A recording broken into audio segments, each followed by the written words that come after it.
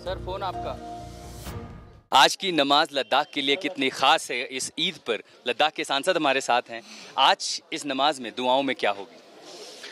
आ, मैं तो दुआ करूँगा इस नमाज़ में जिस चीज़ के लद्दाख जाना जाते हैं communal harmony peace loving culture coexistence of the society और जिसके चलते आज हाल ही में यूनियन टेरिटोरी का जो घोषित हुआ और आने वाले यूनियन टेरिटोरी में वही लद्दाख बरकरार रहे जो लद्दाख पहले थे।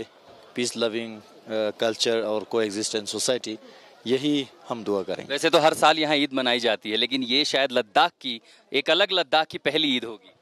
ये यूनियन टेरिटोरी का ईद होगा।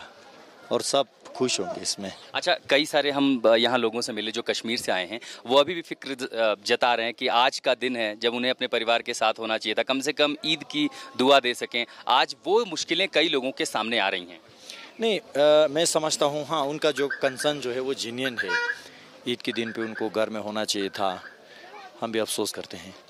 लेकिन कुछ लोगों ने कश्मीर के माहौल इस तरह बना के रखा आज तक। और आज जो कश्मीर में जो कर्फ्यू और लगा है, वो कश्मीर में एक जान भी ना जाए, इसलिए लगा है। इससे पहले जब कर्फ्यू लगते थे तो इकतालीस हज़ार पाँच सौ से ज़्यादा लोगों के जान जाने के बाद कर्फ्यू लगते थे।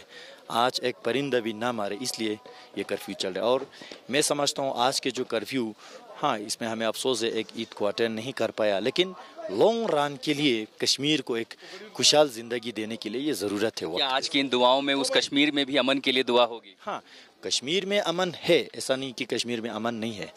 कश्मीर में अमन है इस अमन को बरकरार रखने के लिए ये कर्फ्यू चल रहा है। ये थे लद्दाख के सांसद ज़ाहिर है ये जो नमाज़ पीछे शुरू हुई है लद्दाख की उस ऐतिहासिक ईदगाह में यहाँ दुआएँ होंगी। दुआ होगी लद्दाख में मन के लिए दुआ होगी घाटी में अमन के लिए दुआ होगी पीर पांजाल से लेकर हिमालय में अमन के लिए।